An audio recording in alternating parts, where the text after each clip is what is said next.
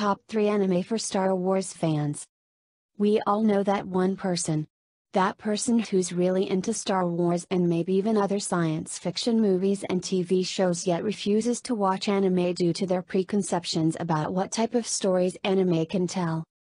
With Star Wars Episode 7 The Force Awakens just around the corner, I thought now would be the perfect time to ask our amazing readers which anime series or movie they recommend to their friends who are really into Star Wars. Outlaw Star Agency This product is manufactured and distributed by Madwin Entertainment under the license by Sunrise Incorporated.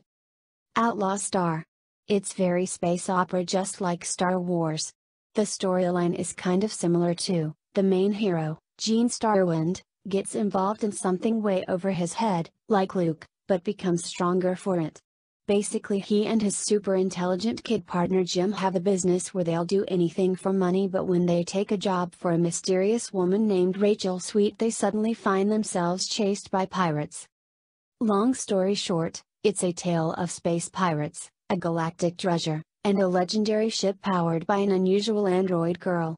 The crew of said ship, the titular outlaw star, is Gene, who's, ironically, afraid of outer space, Jim, a catgirl named Aisha Clanclan, a contract assassin named Twilight Suzuka, and the android girl, whose name is Melfina. Their life consists of trying to get to the treasure before the pirates do, while also trying to make money to maintain the ship and pay back the guy who repaired their ship early in the series. Space Battleship Yamato, Star Blazers. Space Battleship Yamato, Either the original classic series or the amazing reboot Space Battleship Yamato 2199. Also known as Star Blazers in the US. Outlaw Star might be a good suggestion too. Great classic space based sci fi. Princess Jellyfish. This is a tough one. Space opera is a good choice.